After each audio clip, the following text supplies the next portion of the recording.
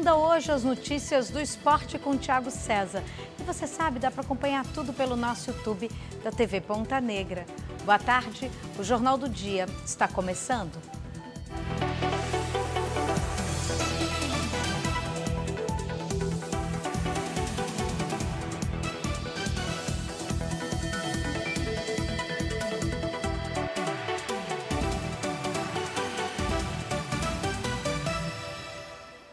A gente começa agora direto para todo o Rio Grande do Norte. Essa edição do Jornal do Dia, hoje, segunda-feira, 18 de setembro, falando sobre a colisão de um ônibus com uma carreta na BR-304, no trecho conhecido por todo mundo como Reta Tabajara, em Macaíba, na região metropolitana.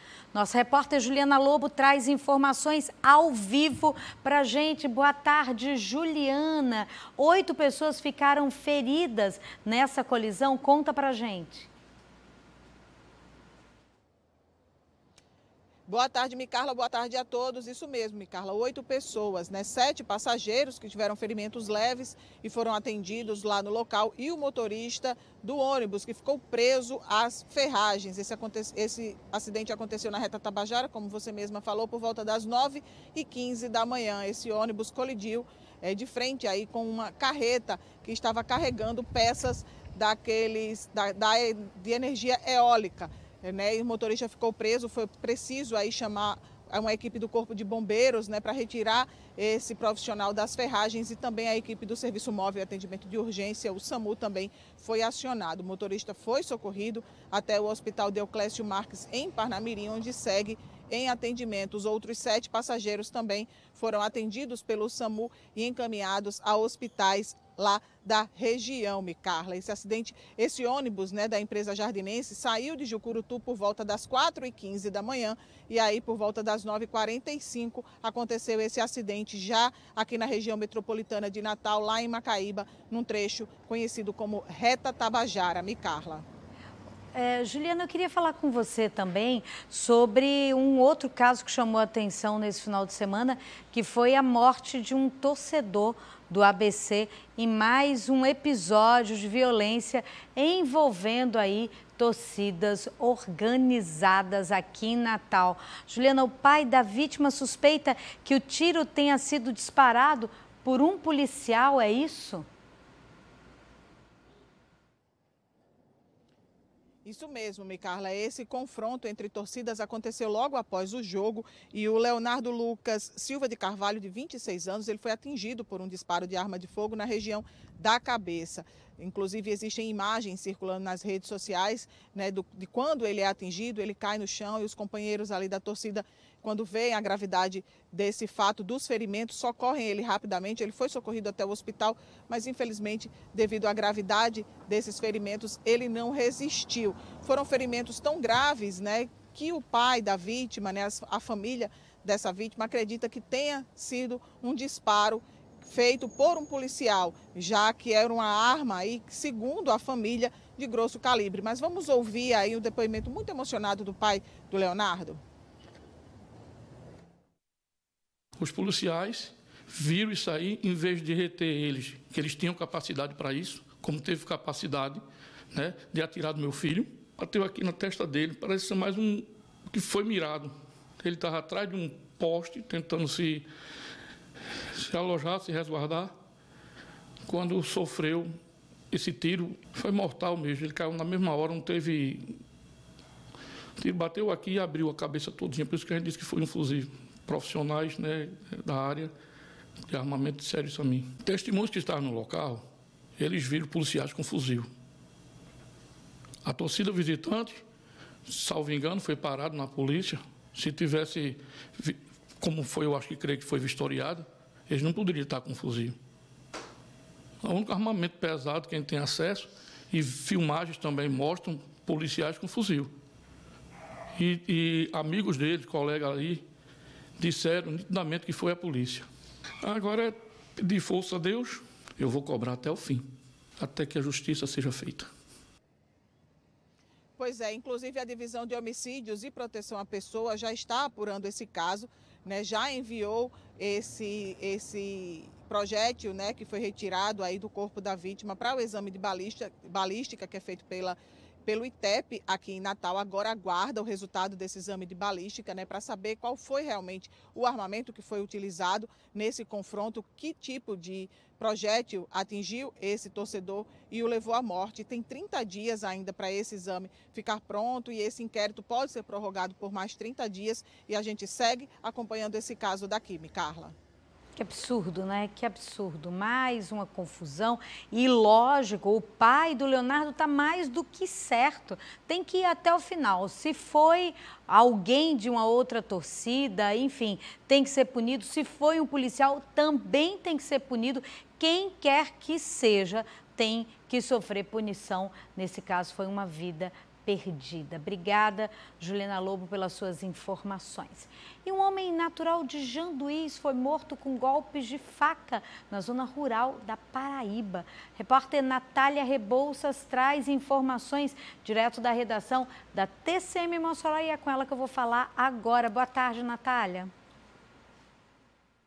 Boa tarde, Micarla. Boa tarde aos que acompanham o Jornal do Dia da TV Ponta Negra. A gente começa com informações do setor policial, um crime que aconteceu no município de Belém do Brejo Cruz, que fica na Paraíba, mas que vitimou uma pessoa originária de Janduís. Um homem que tinha 46 anos foi morto a facadas quando estava em uma discussão com outro homem, identificado apenas como Marcos. Ele foi o acusado desse crime que aconteceu lá na cidade paraibana. A polícia militar ainda conseguiu localizá-lo e prendeu quando ele tentava fugir com a motocicleta da vítima. Isso aí aconteceu lá na Paraíba e a polícia também foi acionada para investigação desse caso que acabou vitimando uma pessoa do município de Janduís. E aí, mudando de assunto, a gente vai falar sobre um ato público que foi organizado no centro de Mossoró, onde é, ativistas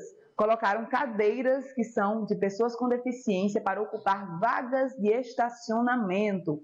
O ato teve como objetivo também chamar a atenção para a Semana da Pessoa com Deficiência, em uma audiência pública que vai ser realizada na sexta-feira na Câmara Municipal de Mossoró, de iniciativa do vereador Tony Fernandes. Então, a intenção também é chamar a atenção para a ocupação indevida dessas vagas de estacionamento que acontecem muito, principalmente em áreas mais movimentadas, como o centro da cidade. Eu volto com você, Micarla. Obrigada, Natália Rebouças, pelas suas informações. E começou hoje a programação da Semana do Trânsito. O evento mobiliza a população com ações educativas para reduzir os acidentes. A Semana Nacional do Trânsito foi lançada em Natal com uma exposição de diversos órgãos do trânsito em uma parceria integrada com a Polícia Rodoviária Federal, Detran e Secretaria de Mobilidade Urbana de Natal. Todos com o mesmo propósito que a redução de mortes no trânsito, né? É mostrar para as pessoas que uma simples escolha, tipo o, evitar o uso do celular conduzindo o veículo pode salvar a vida de, do condutor, pode salvar a vida de um, de um pedestre ou de um motociclista que está na, na rodovia. Em um shopping da cidade, a exposição recebeu a visita de crianças de uma escola da rede privada da cidade. Por aqui, muita gente está aprendendo o que deve ou não deve fazer no trânsito. Eu aprendi que a gente não pode andar sem cinto. Eu aprendi que a gente não pode passar na rua sem a mão de um adulto. A criança, ela ela aprende alguma coisa aqui, ela vai cobrar isso do pai, ela vai cobrar isso de seus familiares, vai cobrar condutas mais, mais responsáveis no trânsito. Nós temos o projeto Educar aqui em várias escolas do estado. O, CPE, o CPRE também trabalha com um projeto educação em várias escolas do estado.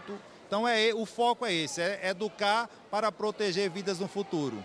Com o tema No Trânsito Escolha a Vida, a ideia é mobilizar toda a sociedade para uma segurança viária eficaz, com o intuito de diminuir a quantidade de acidentes nas rodovias e também nas cidades. O recado é que devemos obedecer à legislação de trânsito, a questão de sempre o maior proteger o menor, no trânsito escolha a vida e que se dirigir não beba, porque o trânsito ele tem feito muitas vítimas fatais lesões corporais de natureza gravíssima e isso é muito triste. Então, se cada um mudar o seu comportamento no trânsito, teremos vidas salvas. O Rio Grande do Norte registrou de setembro do ano passado até setembro de 2023 1.347 acidentes em rodovias federais e 93 óbitos. De acordo com a Polícia Rodoviária Federal, a maioria desses acidentes são provocados por condutores de motocicletas. Em Natal, o número de acidentes vem diminuindo, segundo a STTU. Em 2019, a Secretaria registrou 5.520 acidentes. De setembro do ano passado até agora, a Secretaria registrou 2.256 acidentes. Programas como o Programa Vida no Trânsito, a gente trabalha com a análise dos acidentes, é, o que teria causado esses acidentes. Então a gente vai em cima das ações de educação, a ação de engenharia e de fiscalização. E um surto do vírus Nipah na Índia e casos de uma nova variante de Covid na Europa e também nos Estados Unidos estão gerando preocupação na comunidade científica mundial. De Londres, nosso correspondente Márcio Delgado traz informações para a gente. Boa tarde, Márcio. Muito boa tarde, Carla. Mais de dois anos após ter sido decretado o fim do último lockdown aqui no Reino Unido, a população está acompanhando de perto notícias circulando sobre uma nova variante da Covid-19. Conhecido popularmente como pirola, o vírus tem chamado a atenção dos pesquisadores devido ao seu alto número de mutações. Até agora, já são cerca de 30. Vários casos já foram registrados em países como Inglaterra, Israel, Dinamarca e nos Estados Unidos. E ao redor do mundo, esse não é o único vírus que tem tirado o sono de cientistas e da população no momento. Na semana passada, no estado de Kerala, no sudeste da Índia, um surto de um vírus conhecido como Nipah e que é transmitido através da urina e da saliva de morcegos deixados em frutas, resultou na morte de várias pessoas. O Nipah não é um vírus novo no radar da medicina não, Micarla. A primeira vez que se ouviu falar dele foi nos anos 90. E em 2011, o vírus Nipah inspirou o filme Contágio, estrelado pela atriz britânica Kate Winslet e pelos atores norte-americanos Matt Damon e Gwyneth Paltrow, entre outros nomes de peso de Hollywood. Apesar do surto do vírus na Índia ter resultado no fechamento de escolas e escritórios comerciais até o próximo dia 24, no momento, o Departamento de Vigilância Sanitária do país diz que o uso de máscaras de rosto não será obrigatório, já que o Nipah não é transmitido através do ar, como é o caso do coronavírus. De Londres, na Inglaterra, Márcio Delgado para o Jornal do Dia. Obrigada, Márcio, pelas suas informações. E a gente vem aqui para Natal, vem para o Rio Grande do Norte, porque o SENAC abriu inscrições para bolsas de estudo, bolsas de curso na modalidade à distância. Nosso repórter Robson Bezerra conta os detalhes para a gente. Boa tarde, Robson. Boa tarde, Micarla. Boa tarde para você que nos acompanha. O Senac está ofertando mais de 1.600 bolsas de estudo para vários cursos EAD. Aqui no Rio Grande do Norte são 72 cursos nas áreas de turismo, comércio, gastronomia, entre vários outros. As inscrições elas já começaram, elas vão até o dia 26 de setembro e a data provável do início do curso é no dia 2 de outubro. A carga horária varia entre 20 horas e 196 horas. Ficou interessado? É só ir lá no nosso portal, portal mais completo e confiável do estado, o pontanegranews.com.br, que dentro da matéria vai estar um link para você clicar e se inscrever. Eu volto com você, Micarla. Obrigada, Robson Bezerra, pelas informações. E agora a gente vai direto saber com ela quais são os outros destaques do portal Ponta Negra News o mais completo e confiável portal de notícias do Rio Grande do Norte. Boa tarde, Gabriela Fernandes. Oi, Micarla. Uma ótima tarde para você também, para todo mundo que está acompanhando o Jornal do Dia. Entre os destaques do nosso portal está o caso de um jovem que estava na parte de trás de uma igreja localizada em Serra Negra do Norte, Seridó aqui do estado, e foi atingido por um tiro. Identificado como João Vitor, ele morreu após o tiroteio. O crime aconteceu no momento que estava sendo celebrada uma missa dominical. O padre interrompeu a celebração quando ouviu os tiros e a população se assustou. Não é por menos, né, Micarla? Meu Deus, não é por menos, né? Imagina aí a agonia desse celebrante, de todo mundo que estava na igreja. Quer dizer, os bandidos não estão respeitando nem a casa nem do um Senhor, domingo né? à noite, pois é. Nem um domingo, uma missa, né? Pois é. E outro destaque lá do Ponta Negra News é que começou hoje o prazo para adesão ao Programa de Refinanciamento e Regularização Fiscal do Rio Grande do Norte, o Refis 2023. Com o programa, os contribuintes podem negociar suas dívidas com o fisco do Estado. A medida foi anunciada pelo secretário estadual da Fazenda, Carlos Eduardo Xavier. E para saber mais detalhes desse programa, acesse Ponta Negra News, que tem tudo lá. E outro destaque de hoje é sobre os ganhadores da Liquida Natal, que serão conhecidos nesta terça-feira, a partir das 11 horas, e terá transmissão ao vivo no YouTube da TV Ponta Negra. De acordo com a CDL Natal, em oito dias de campanha, houve movimentação de 142 milhões em vendas no comércio de Natal e região metropolitana.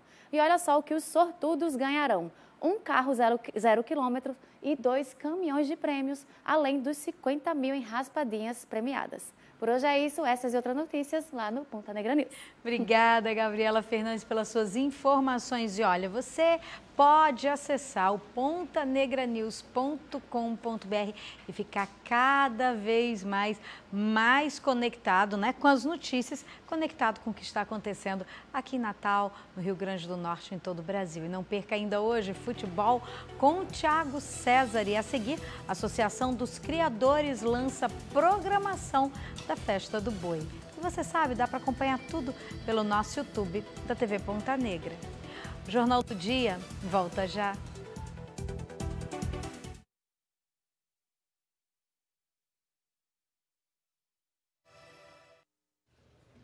Ô, Ana, esse daqui é o que a gente compra, tá tão diferente. Claro, não vem com essa não, olha, porque eu conheço a Mauricéia, olha, de longe. Entendi, Ana. Então a Mauricéia de sempre. É isso mesmo, é só a embalagem que tá diferente. Então bora levar dois, Ana. Claro. Olha, porque Mauricéia, gente, tá de cara nova, mas com a qualidade e a tradição de sempre. Ah, e sem hormônio, tá? E se é Mauricéia, eu confio. A vida nasce, cresce e acontece onde é bem cuidada. Com a nossa experiência de cuidar de milhões de vidas, ela nasce em segurança. Cresce estimulada pelo carinho, pelo acolhimento e muita confiança.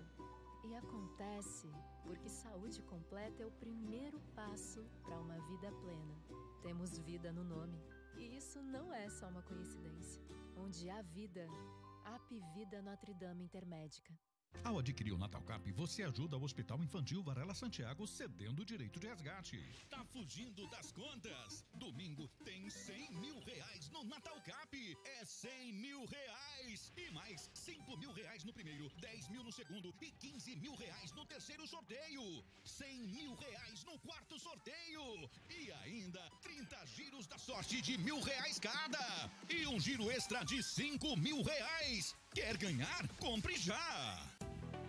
Jornal do Dia. Oferecimento Rede A Construtora. Tudo para toda obra, sempre perto de você.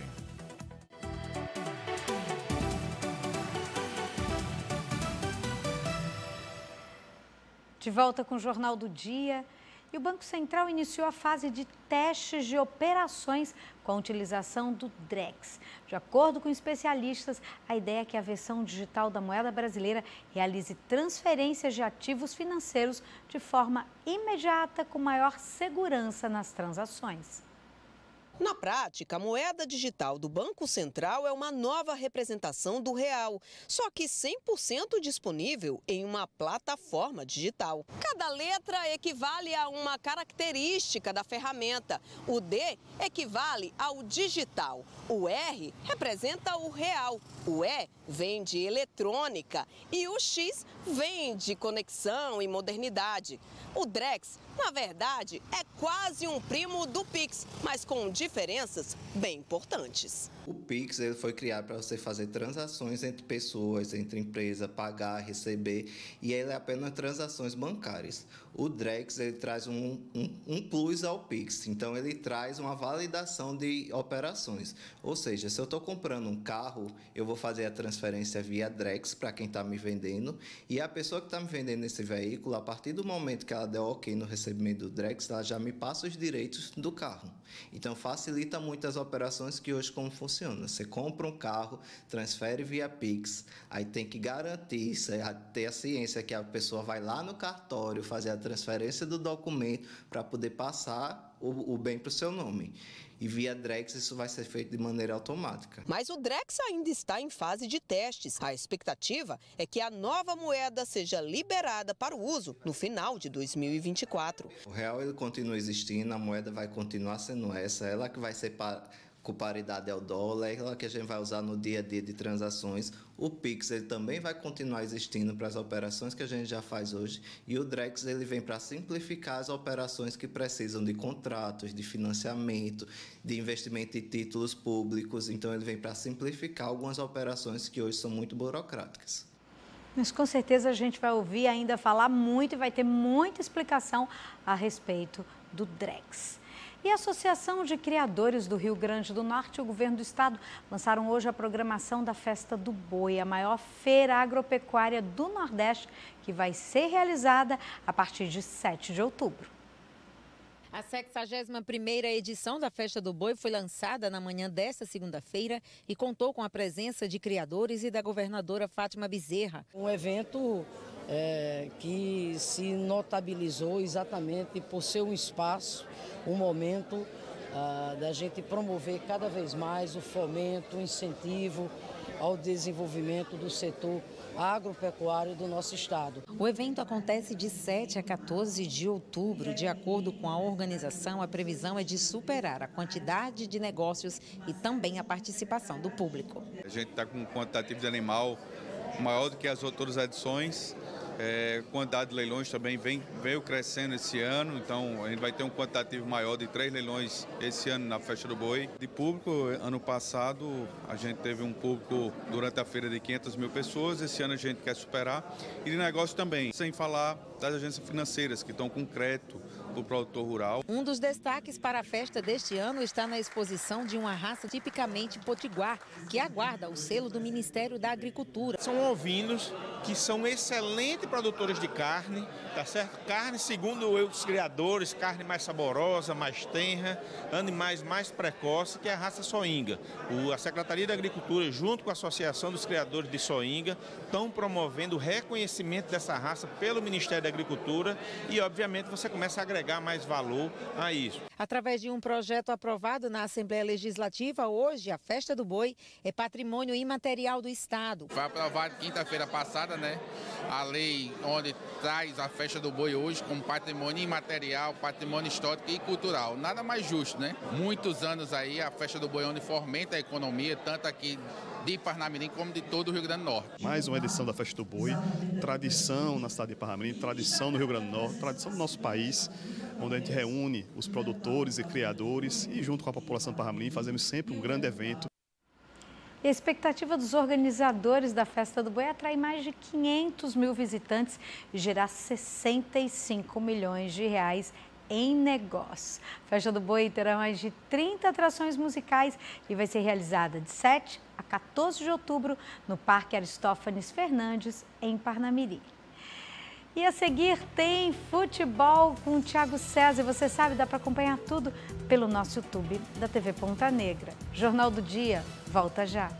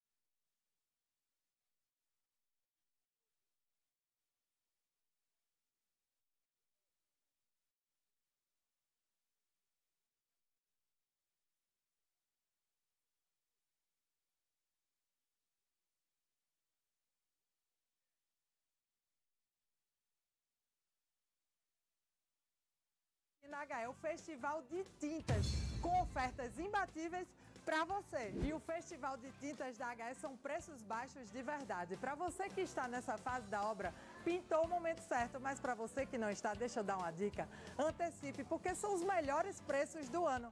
E você ainda pode parcelar em até 10 vezes sem juros no seu cartão. Vai perder essa? HE, tudo para a sua obra. HE, passa lá. Jornal do Dia. Oferecimento Rede A Construtora. Tudo para toda obra, sempre perto de você.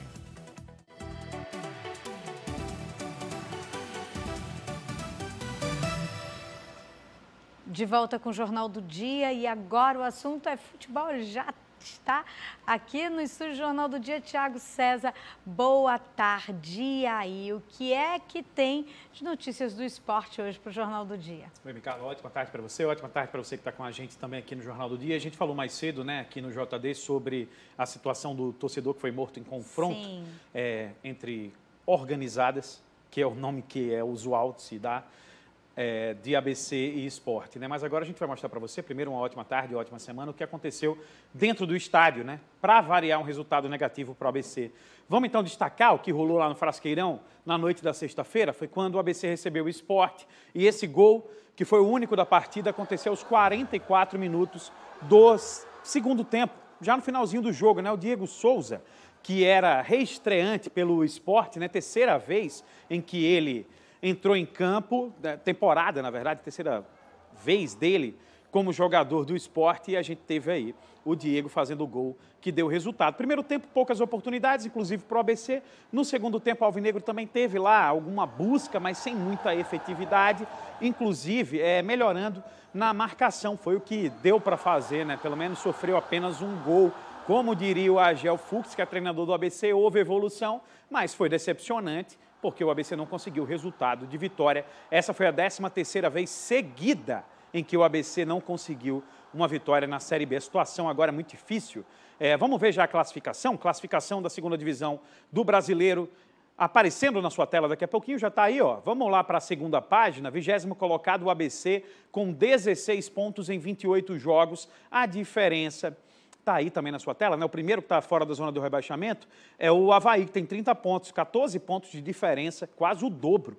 É o que separa o Havaí, o primeiro fora, do ABC, o lanterna da competição. Londrina, Tombense e Chapecoense com, é, completam o Z4. No G4, Vitória líder com 52 pontos, seguido por Guarani, Esporte e Criciúma. O ABC só volta a jogar agora na segunda-feira, quando, fora de casa, enfrenta o Novo Horizontino. A gente muda de esporte agora para falar sobre corrida de rua, porque no fim de semana, no sábado, aconteceu uma das maiores corridas de rua do Brasil aqui em Natal, né? Que é a Meia Maratona do Sol, que reuniu aí, ó, Carla, quase quase não, mais de 9 mil corredores vindos de várias partes do Brasil para essa corrida que teve provas de 5, 10 e 21 quilômetros, passou por vários lugares legais aí da nossa capital, saiu e chegou na Arena das Dunas. Que coisa bonita, hein? Isso que aí lindo, dá, dá motivação né? para qualquer um para correr, não dá não? Com certeza, inclusive a nossa gerente de jornalismo, nossa atleta mor das né? maratonas, né? né? A é. nossa maratonista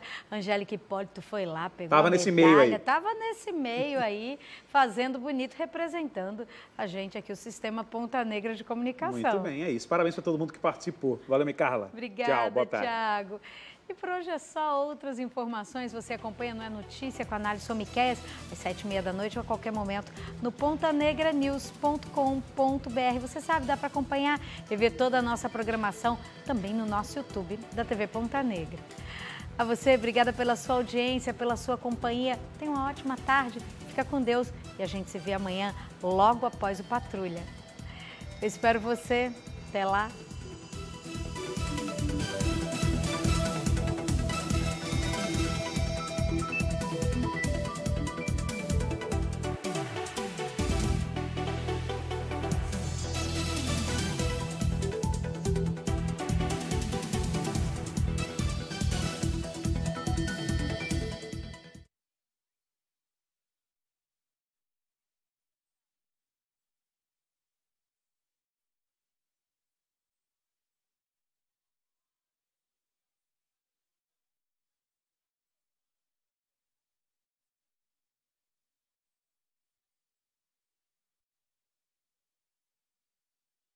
Hoje o nosso, o nosso fogo no parquinho no Conexão 95 é que Nicole Baus, aquela paniquete bem bonita.